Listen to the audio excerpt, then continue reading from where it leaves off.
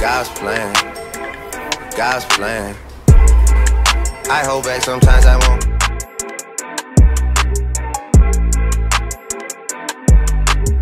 Hello, sobrinhos e sobrinhas fofurinhas, coisas gostosinhas da titia. Hoje nós vamos voltar com música. Vocês que estão adorando aí os quadros de música, lembrem de sugerir músicas aqui pra titia trazer pra vocês.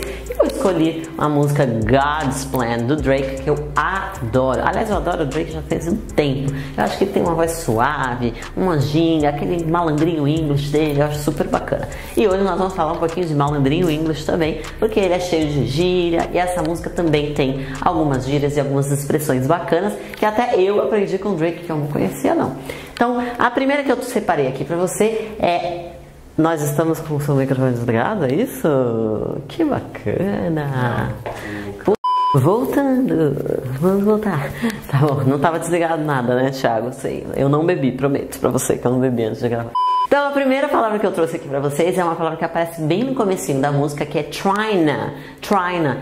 Trying to keep it peaceful is a struggle for me. E pode ser que você tenha pensado, meu Deus, que palavra é essa que eu nunca vi na minha vida? E, na verdade, ele é uma junção do verbo trying, com ing, to, trying to. E na hora de falar, sai um trying trying to fix, trying to do, tá? E aí por isso que ele usa dessa maneira, inclusive escreve a música desse jeito. Mas como eu falei para você, é malandrinho English, é uma coisa mais para você falar, que você vai ver mais em música, vai ver mais no inglês é, oralmente falando, tá? Então é mais coloquial e não, logicamente, se você for escrever um e-mail mais formal, você não vai usar esse try, né? Combinado? Um outro aqui que eu tive até que ir lá no meu, no meu mastermind para perguntar, porque eu realmente não conhecia conhecia essa expressão.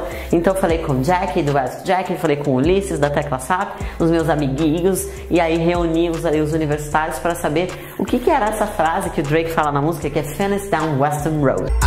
Down Western Road. Hey, e aí eu descobri que Western Road é uma rua lá no Canadá, very good, então ele tá falando de um lugar que realmente existe. E esse Down neste contexto, tá? Porque se você for no Urban Dictionary, você vai ver um monte de uh, possibilidades para esse down, mas neste contexto dessa música, esse down é tipo andar suavemente, tranquilamente pela rua, tranquilão, tranquilão pela rua, ok? Então esse é o down, chique, né? Uma outra também que é uh, uma abreviação de palavra que eu coloquei aqui para você, ele colocou lá na música a palavra taxed, tattooed.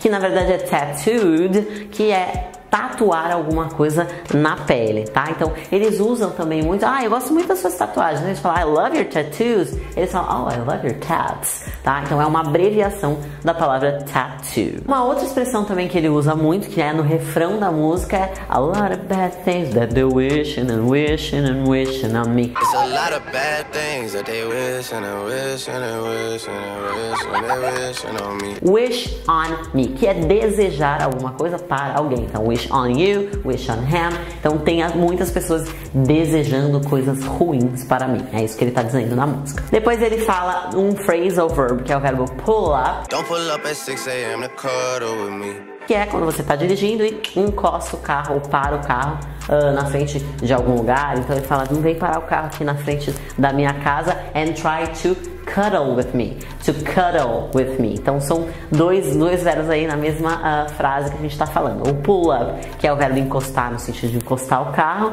e to cuddle with someone é ficar de, de abracinho, de beijinho, de conchinha, assim, sabe? Quando a gente fica assim todo fofo, namorado. Então é isso. É tipo to cuddle. Um outro verbo também que ele usa aqui que eu achei bem legal e interessante trazer para vocês é o verbo outlive. Outlive. Então a frase é assim. Uh, na música, peraí. Um, dois, três, deixa eu olhar no brado aqui, peraí.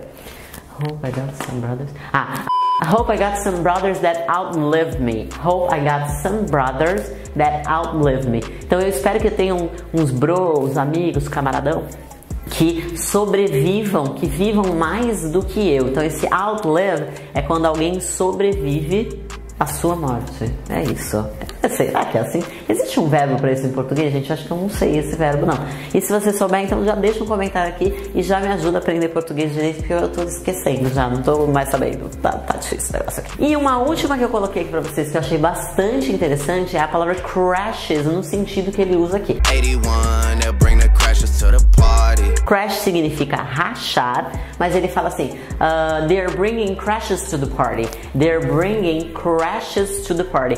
E na verdade, o que, que ele quer dizer aqui é que esse crash são pessoas que penetram a festa, né? Então, se você é um party crasher, você é uma pessoa que vai na festa sem ser convidado. Que coisa feia, hein? Ficar penetrando a festa alheia. Mas é isso aí. Eu espero de verdade, de coração, que você tenha gostado desse vídeo de música. E se você gosta de música tanto quanto Titi aqui, traga sugestões, me fala que música que você quer ver aqui pelo canal para eu trazer informações. E agora você já sabe que não adianta nada você aprender vocabulário novo se você não praticar. Então agora praticar, vamos lá escutar a música e cantar. Tem que cantar então para ficar. Então já prepara o seu look Drake aí e começa a dançar e cantar com titia. Um beijo, te vejo na próxima aula. Não esquece de me deixar aquele seu joinha e se inscreve no canal se você ainda não se inscreveu. Nós estamos rumo a 500 mil inscritos.